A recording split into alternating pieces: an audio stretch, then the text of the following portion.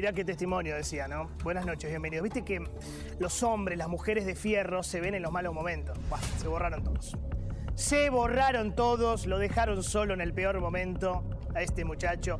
Yo recuerdo la historia de Actión, mitología griega, que, que se borró en el peor momento. Se borra. Tipo, Actión era un cazador indiscreto que le gustaba mirar a las mujeres mientras se bañaban, un perverso. Entonces engancha a la diosa Artemisa. Entonces Artemisa lo ve, furiosa por ser vista desnuda, entonces lo, lo castiga y lo convierte en un siervo. ¿Qué hizo Actión? No pide disculpas, no pide clemencia, no se arrepiente, no reconoce el error, se escapa, desaparece, se borra, sale corriendo. Entonces, como era un siervo, una flecha lo alcanzó y lo mató. Moraleja, nunca, nunca, pero nunca te borres en las malas.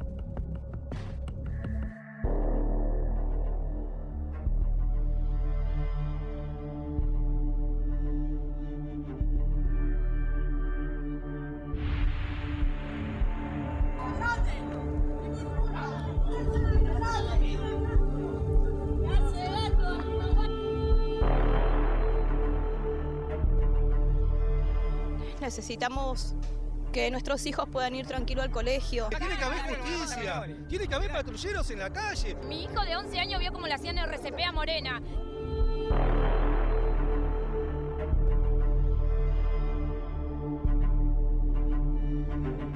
Espero que estén mirando, espero que estén mirando Alberto Fernández, espero que estén mirando todos los candidatos.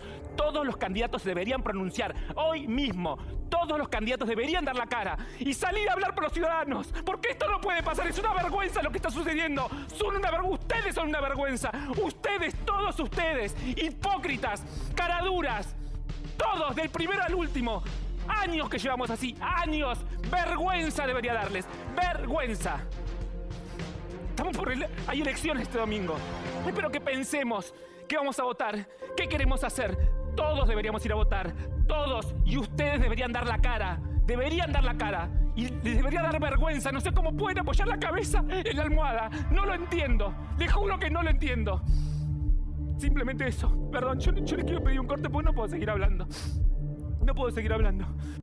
Bueno, esto se llama morir de miedo. Si hay que ponerle un nombre, un título, un catálogo, es morir de miedo. ¿Cuántos años tenía Morena? 11. ¿Cómo murió? Por un paro cardíaco. Por los golpes que recibió para robarle un celular de mierda. ¿Quiénes la mataron? Dos motochorros. Fíjate cómo los detuvieron hoy, dale.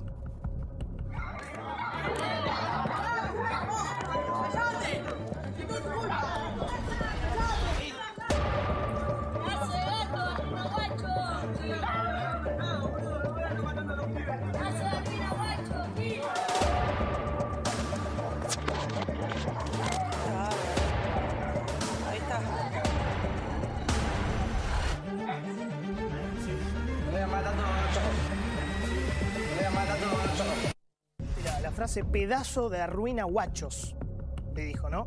¿Por qué el caso conmociona tanto acá en la Argentina? Porque mataron a una nena para robarle un celular, porque se terminaron, después quiero hablar esto con Santilli, los códigos de convivencia en la delincuencia, porque está todo roto en el sistema de convivencia social, porque ya son 20 años donde la sociedad pide a gritos recuperar un mínimo estado de orden, de respeto por la vida, de coexistencia. La vida en el conurbano vale un celular, un par de zapatillas, una cartera o cualquier cosa. Y ellos están absolutamente borrados. Repito, ¿en qué anda el presidente mientras la sociedad se conmueve por la economía y por la inseguridad?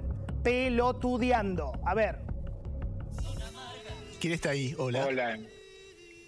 Estoy llamando para saludar a, a un gran periodista que a partir de hoy se convierte en un sexagenario, que es una palabra que lo vuelve un hombre muy maduro, que a pesar de eso le quedan muchos años por delante para disfrutarlo y para padecerlo, para ambas cosas, eh, que es un gran periodista.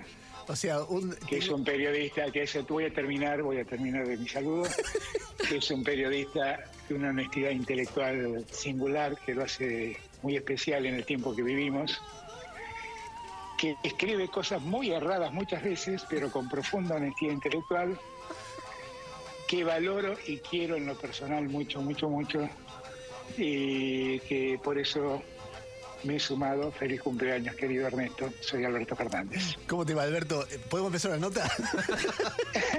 El regalo de cumpleaños. No, la nota era esta. El La dólar, la inflación. esta. No, no, no, la nota era hablar, la nota era hablar Literalmente están en un cumple. El dólar a 600, la inseguridad al tope en el conurbano, pero el presidente cree conveniente llamar por teléfono a la radio porque un periodista amigo cumpleaños. Mientras tanto, dame la vida real, dale. Era de mi hija. Era, Pudo haber sido mi hija también. ¿La conocías a Morena? No, no, pero mi, mi hija, mi hija está muy consternada por ella. Hijacita, ¿Era compañerita de ella? era compañera de mi hija. Lo siento mucho yo como padre y todo como padre tiene que sentir perder una hija así. Y a mí me da una pena porque vas a ver que los policías este domingo van a estar rodeando a todos estos ladrones, hijo de puta que están acá. ¿Cómo le explicas esto a tu hija? Y no, no tengo palabras, yo hasta ahora desde que me enteré no paro de estar así, estoy muy triste porque pudo, ella está en casa, pero yo como, alegría inmensa que tiene cada compañerito cuando se encuentran y te llevan con esta noticia, es lo peor que puede haber como padre. Esto pasa todos los días. Mi hermano se va a trabajar a las seis y media en Boquerón y San Vladimiro y todos los días la misma moto para en la esquina y afana a todos. Mirá. Todos los días, no es un día, todos los días. Y hay cámaras en todas las esquinas. No sé cómo no los pueden agarrar o no sé qué. ¿Ves que no es solo esta nena de 11 años que nos conmociona? La señora de Lanús te dice que todos los días la misma moto, con el mismo motochorro, roba la misma esquina y no pasa nada. Entonces la pregunta es ¿por qué? ¿Por qué los chorros, no con este caso, entran y salen, entran y salen? Porque el progresismo argentino ha fabricado un sistema de protección de chorros llamado puerta giratoria. Y te lo fundamento con un ejemplo bien clarito. Bien clarito. Uno de los motochorros identificados, detenidos, que ahora lo van a alargar por el asesinato de Morena, se llama MA. Hasta ahí, MA. Resulta que es el mismo MA que la diputada nacional kirchnerista y referente de Grabois, Natalia Saracho, quiso evitar que detuvieran en Fiorito hace algunos meses. Mira. Cuando veníamos al Congreso, veníamos a una actividad, bajamos el puente olímpico y paramos para el semáforo y vimos que le estaban pegando un pibe que ya lo tenían en el piso, el pibe, nada, estaba redrogado, menor de edad, te dabas cuenta que era menor de edad, ya lo tenían apresado ahí y viene uno, un grandote y le da una patada en la cara. Y yo me bajé, me, me bajé como cualquier compañero.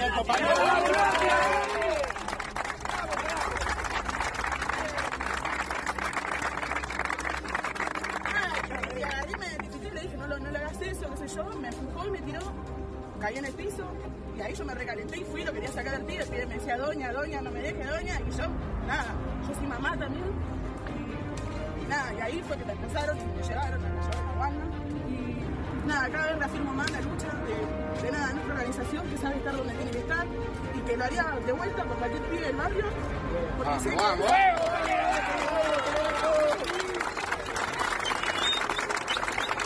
Te lo paso en limpio. Esta que habla es la diputada kirchnerista Saracho contando cómo hizo para evitar la detención de uno de los implicados en el asesinato de Morena de 11 años. Lo van a liberar al pibe porque es parte de la banda, pero no de los dos que habrían matado a la chica. Se llama MA, el chico, bueno, está ahí, y tiene 21 antecedentes penales. 21 antecedentes penales, todo esto. Averiguación de robo, robo, robo, bueno, todo esto, ahí lo estás viendo, mirá.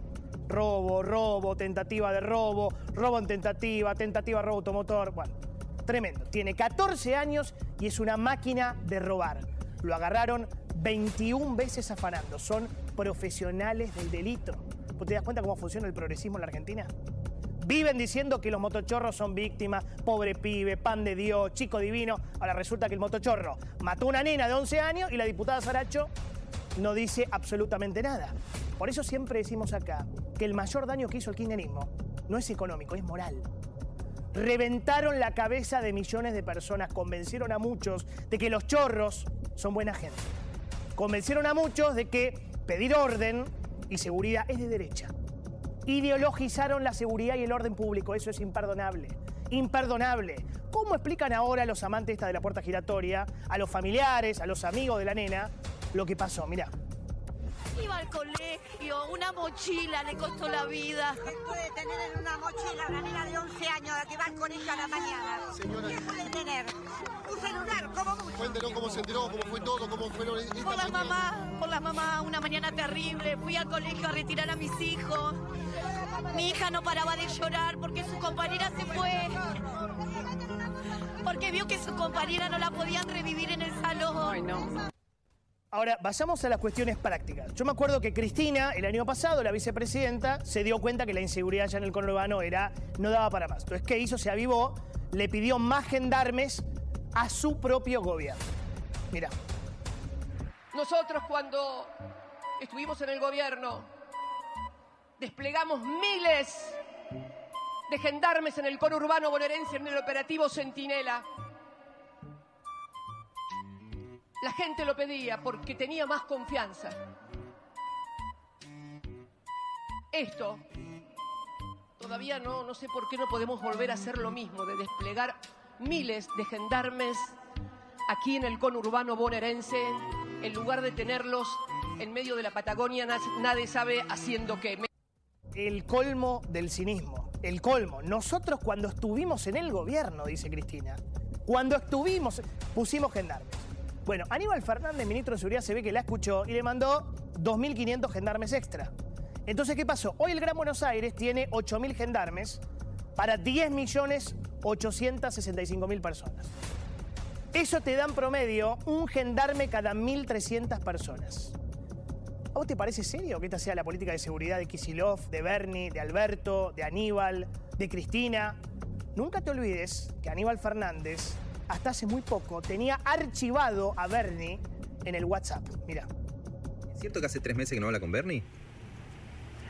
Hablé, no, no sé si tanto, y este, el, el- el día que pasó esto le, escri- le escribí nueve veces. Este, no me respondió ninguna, le capturé la pantalla, le mandé, le digo, che, te, me te escribí nueve veces, si no tenés ganas de hablar, no hables, listo, haz lo que quieras. Este, ayer me entró un, un mensaje, este, uy, te, perdón, si no te había visto, qué sé yo. Yo tampoco lo vi, porque lo, había guardado, lo había archivado. Por ahí después veo que había un, un- un- un mensaje en el archivo, miro, era este, le respondí. Este, No me archives el WhatsApp de Bernie. Ponelo fijado arriba con los quilombos que hay. ¿Para qué quiero un mensaje del que no te contesta? Así que estaba archivado. Me contestó, le contesté me dice estoy en TN. Eso, el último mensaje dice eso. Cuando salgo te se ve que todavía está ahí o lo secuestraron ahí adentro la gente esta de TN, que sé yo, que a saber qué hicieron. A ver, días como hoy es importante rever esto, porque así funciona, así coordina Ministerio de Seguridad Nacional con la provincia. Por WhatsApp y no, lo tengo bloqueado porque el boludo está en TN y no me atiende. Es así, muchachos. Hablan por WhatsApp. No tienen un panel especial. Mientras tanto, en la provincia, solamente el año pasado, poneme, 750 asesinatos. Eso te da en promedio dos homicidios por día. ¿Dónde matan más gente? La Matanza, 124, San Martín, Lomas, Quilmes, Moreno. ¿Sabes por qué? Bueno, entre otras cosas, porque en plena pandemia, este gobierno promovió la liberación masiva de presos de las cárceles. Esto, un día como hoy, no hay que olvidarlo, mira. Tener la mano dura y encarcelar a todos y no construir cárceles no tiene sentido. Es todo marketing eso. Y tener ahora en las cárceles personas en riesgo y que el Estado no reaccione ante el riesgo sanitario de esas personas es un acto inhumano. Es inhumano. Y nosotros abrazamos la política porque la humanidad es lo que nos importa. Es un acto inhumano. No, inhumano, Alberto, es lo que le hicieron a la chica, ¿no? ¿Te das cuenta por qué los asesinos se mueven como peces en el agua en el conurbano? Por esto. Porque hace 20 años hay una bajada de línea política, cultural, te diría, que justifica la delincuencia. Pregunta, ¿dónde está el gobernador Kisilov? Mientras pasan estas cosas tan graves, ¿dónde está? Haciendo campaña, comiendo golosinas, mira. ¿Te podemos acompañar hoy? Dale, dale, venga. Gracias. Quiero terminar redondo, si se hace. Siempre tienen golosinas en el auto. Cuando era chico quería tener un kiosco. Pero después me di cuenta que era para comerme todo y no... no- No iba a funcionar.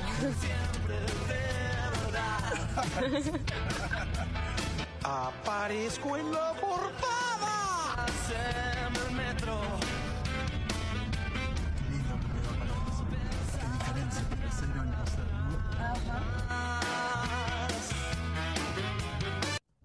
Lindo auto, ¿no? Linda camioneta, tomando mate, muy metido con la inseguridad. ¿Y en qué anda el ministro de Seguridad, Bernie? También, haciendo campaña, mira. Yo no tengo nada que ver con Graboy. Sí. Eh, me parece que Sergio Massa eh, es una persona que se identifica con los principios del peronismo y por eso lo, lo apoyamos con contundencia y con convicción. Yo, ¿Te imaginas al secretario de Seguridad de Estados Unidos recorriendo los canales, haciendo campañas por Biden, por Obama, por Trump, por el que sea? Es raro, ¿no? Acá lo tenemos muy naturalizado, pero no está bien. Digo, en lugar de gestionar, están paviando en televisión hablando de política. Bueno, conclusión, yo creo que la palabra que define este momento de la sociedad es abandono. La seguridad de la gente está abandonada, la salud de la gente está abandonada, la educación de los chicos está abandonada, la moneda está abandonada. Escuché hoy al presidente matándose de risa de que el dólar finalmente superó la barrera de los 600. Mirá. Regalo Ernesto incluye el Blue a 600 porque da 60 con un cero al lado. Bueno, eso no ocurre. No sé si vos, lo- si vos querés pagarlo eso, pagalo. No es lo que está. Pensé que era un regalo a Ernesto. No, no, no, no. A Ernesto le quiero regalar, le quiero regalar un buen día. Hoy le, hoy le regalaría un buen tema de Lito Negro. un buen tema de Lito Nevia. Hoy el dólar llegó finalmente a los 600, el otro tema del día más de costadito, y Alberto se caga de risa hablando de un tema de Lito Nevia. Se matan de risa de cómo nos rompieron en mil pedazos la moneda nacional, ¿no? Devaluación del billete de mil, mirá. Pasamos de mil, era 16 dólares en el 2019, ahora son un dólar con 67. Pero es mucho más divertido salir por radio a pedir un tema de Lito Nevia, qué sé yo. ¿En qué anda, por ejemplo, el otro candidato a presidente, Juan Grabois? Mirá.